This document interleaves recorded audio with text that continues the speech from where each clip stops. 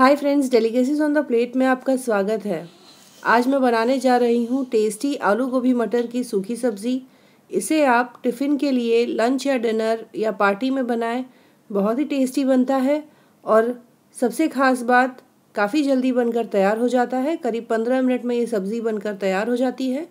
तो चलिए इसे बनाना शुरू करते हैं।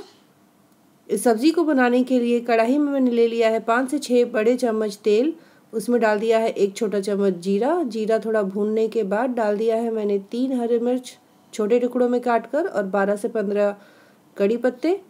फिर यहाँ पर मैंने दो मीडियम साइज़ का प्याज बारीक काट कर ले लिया था, उसे डाल दिया है। इसे सुनहरा होने तक भून लूँगी। प्याज के साथ इसमें मैं डाल दूँगी एक बड़ा चम्मच दरदरा पिसा हुआ लहसुन और कद्दूकस किया हुआ अदरक एक बड़ा चम्मच। आप चाहें तो इसका पेस्ट बनाकर भी डाल सकते हैं। अदरक और लहसुन को भी प्याज के साथ भून लें। अब मैं इसमें डाल दूँगी दो मीडियम साइज़ के आलू, छोटे टुकड़ों में काट कर इसे हल्का सा भून लें। फिर इसी के साथ मैं डाल दूँगी 250 ग्राम फूल गोभी जिसे छोटे टुकड़ों में काट लिया है। गोभी के साथ डाल दूँगी करीब 100 ग्राम हरी मटर।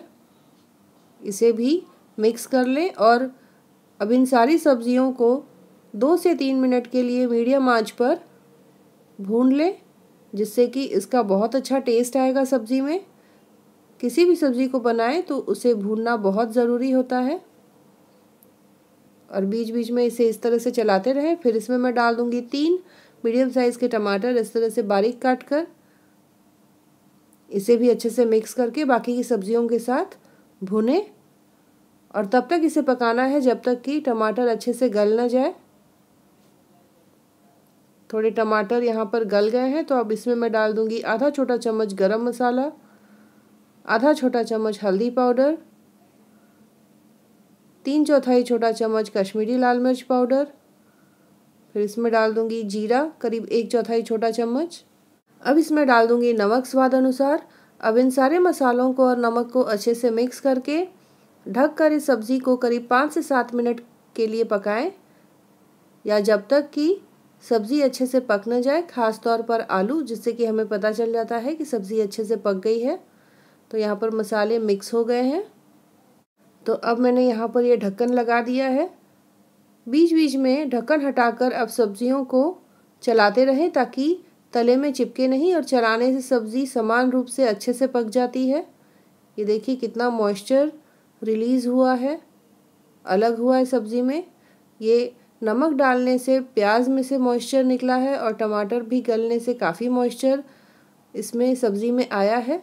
तो ये मॉइस्चर इस सब्ज़ी को पकने में मदद देगी। आप इसमें ऊपर से पानी बिल्कुल न डालें। इसे इसी तरह से मीडियम आँच पर ढक कर पकाते रहें।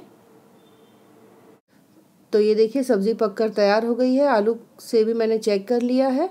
आखिर में इस पर डाल देना है बारीक कटा हुआ हरा धनिया। सब्ज़ी पकने के बाद करीब दो मिनट इसे खुले पैन में पकाएँ, अच्छे से भून लें, जिससे कि सब्ज़ी का अच्छा टेस्ट आएगा और धनिया का पूरा फ्लेवर सब्ज़ी में अच्छे से मिक्स हो जाएगा। तो यहाँ पर हमारी आलू गोभी मटर की सूखी सब्ज़ी बनकर तैयार है। बहुत ही सिंपल रेसिपी है, लेकिन बहुत ही टेस्टी है ये सब्ज़ी। आप इसे पूरी पराठे के साथ सर्व करें, दाल चावल के साथ सर्व करें। आप इसे किसी भी समय लंच या डिनर कभी भी बना सकते हैं। तो अगर आपको मेरा ये वीडियो पसंद आया है तो लाइक, शेयर और सब्सक्राइब ज़रूर करें।